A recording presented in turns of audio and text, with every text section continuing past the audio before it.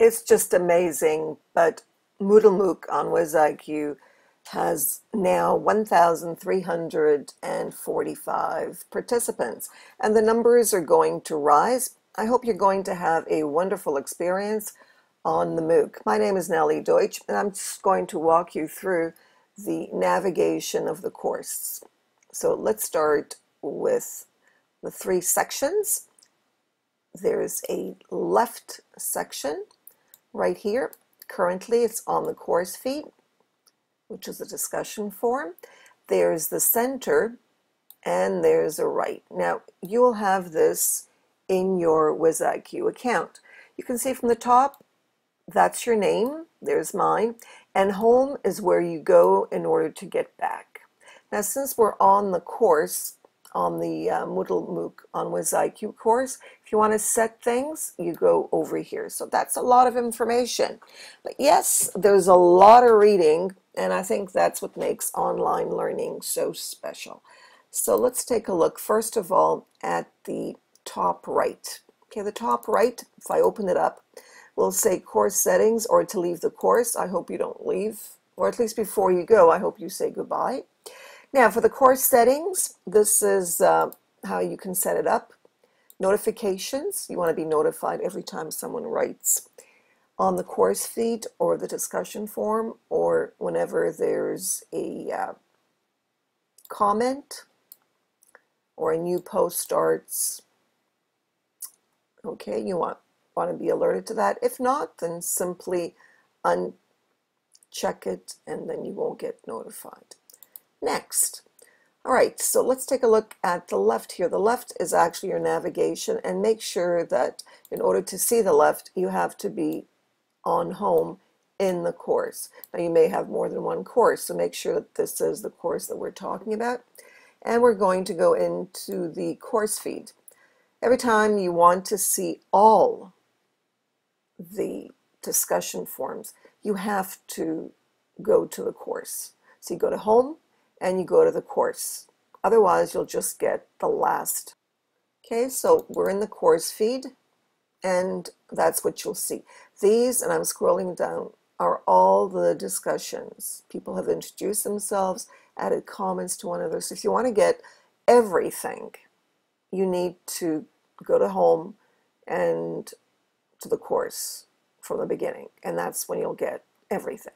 If you want to go to the top, okay, once you scroll down, you just click on the uh, top here.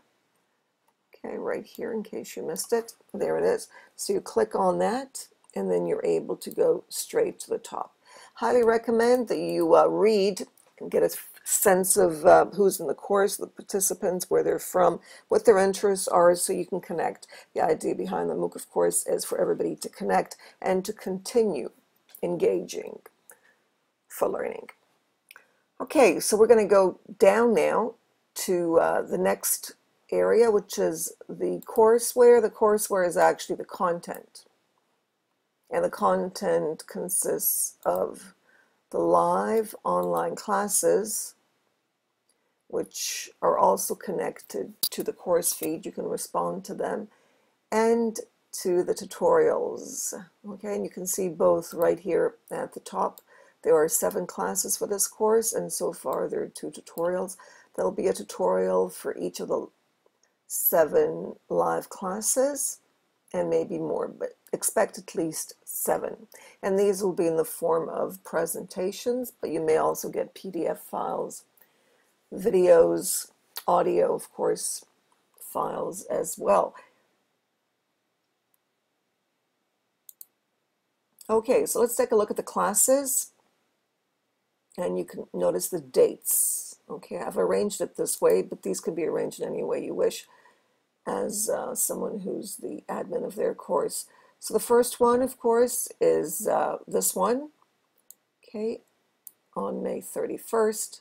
And then you've got the next class, okay, and you just scroll down and go to the, if you miss a class, you'll click on the same link and you'll get the recordings, okay. They're all there. So every class gets recorded automatically. Okay, so there are four weeks, four live classes, one opening, and then one called Going Beyond the Moodle MOOC. Now just beneath the uh, live classes, you'll find the two tutorials that are there so far.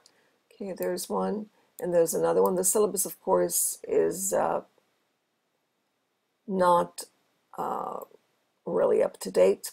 You would have to go to the syllabus, which is on Google Drive, to get uh, the updates. And in order to do that, you'll have to go to the top right, which is right here. This is the announcement area. You'll be notified if I add in any announcements. And here is the syllabus. The syllabus is interactive. You may um, add comments, questions, and so on, and you'll get response from uh, the participants or from the facilitators.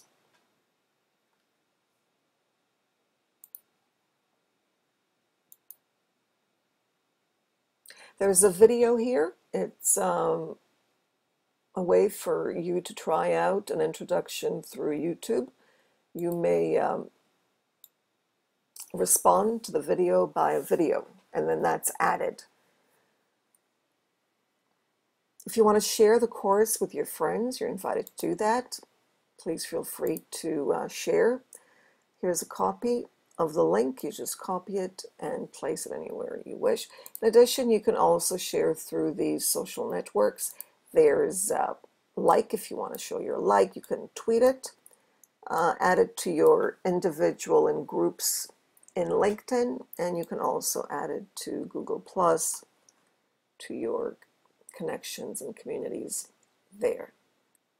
The uh, course learners, course provider. If you've got a question, feel free to ask the course provider. In this case, um, it's Nellie Deutsch by going into course provider and just filling in the form.